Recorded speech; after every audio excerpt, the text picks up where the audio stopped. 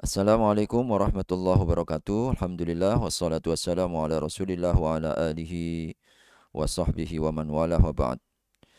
Ada satu pertanyaan kembali dari jamaah. Assalamualaikum warahmatullahi Ustaz, setiap menjelang Imlek kami sering mendapatkan bingkisan kue keranjang dari tetangga atau kenalan yang Konghucu.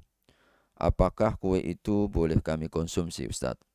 Baik, hukum menerima hadiah. Apa hukum menerima hadiah dari tetangga non-muslim?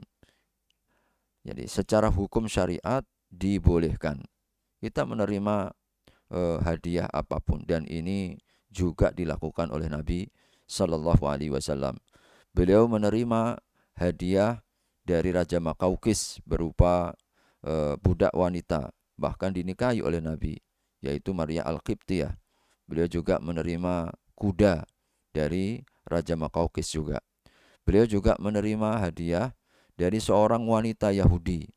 Jadi berupa apa? Berupa e, daging ya, daging kambing. Beliau terima.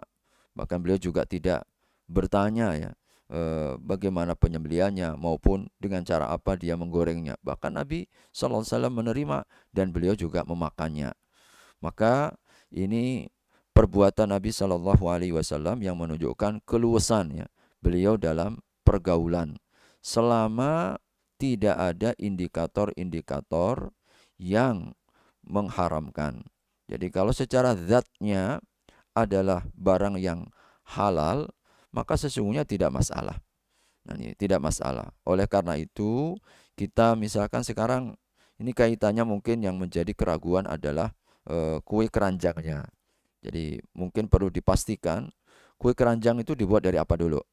Jadi kalau dibuat dari barang-barang yang halal ya selama ini yang kita ketahui misalkan oh dibuat dari tepung atau dibuat dari ketan misalkan ya sudah kita tidak perlu ragu bahwasanya hadiah mereka secara zatnya ini adalah barang yang halal ya.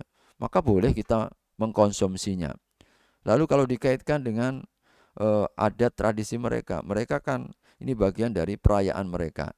Jadi kita tidak merayakan, kita hanya mendapatkan kuenya. Jadi kecuali kalau kemudian kita turut merayakan dengan cara-cara makan-makan kue keranjang ini lain cerita.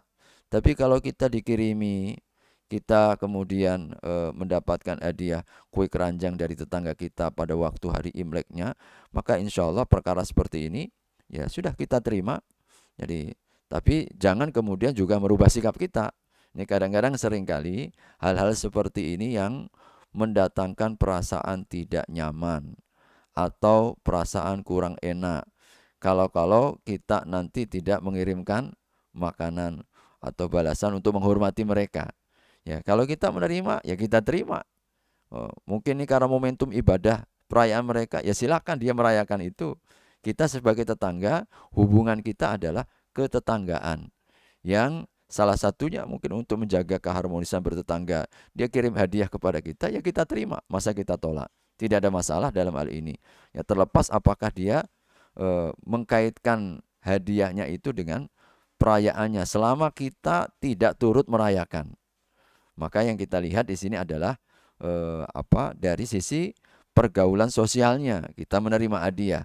Terkecuali kalau kita menerimanya itu dengan konsekuensi harus merayakan dengan perayaan mereka. Maka ini jelas haram. Bukan karena zat dari kue keranjangnya itu, tetapi yang menjadikan haramnya adalah sebab lainnya berupa turut serta dalam merayakan perayaan orang lain.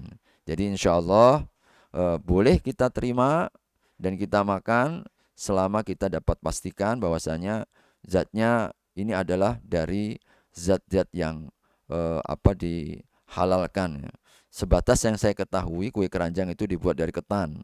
Jadi kalau dari ketan ya insya Allah tidak masalah. Sama seperti kalau kita makan ya kue-kue jajanan yang dibuat dari ketan begitu saja ya. Wallahu alam. Assalamualaikum warahmatullahi wabarakatuh.